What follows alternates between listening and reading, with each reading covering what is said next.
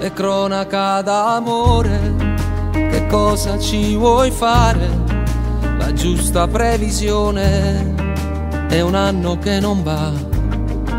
Costringerti a restare sarebbe farti male. Come farebbe male se restassi qui con te? Se è questo che vuoi dire, non farmelo capire. Quel non ti amo dillo senza farmelo sentire. Non dare per scontato che non potremmo mai noi due tornare insieme